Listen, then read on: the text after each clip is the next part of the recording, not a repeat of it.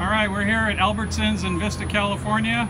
We have Greg's Roadster 2.0, and he has the version 3.0 or R80 battery in his car.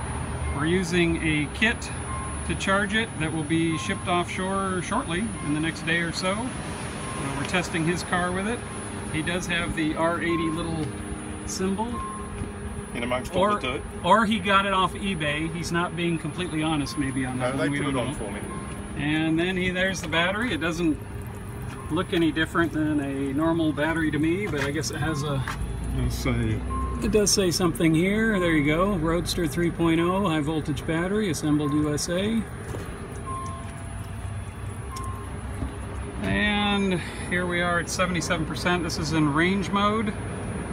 So we've, we've kind of hit the cell or the pack voltage, the max is still the same as the old pack.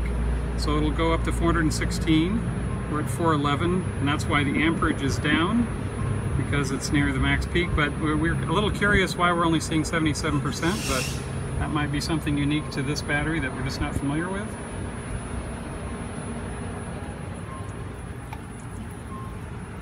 And there's the connection into the car for the CAN bus data and the high voltage.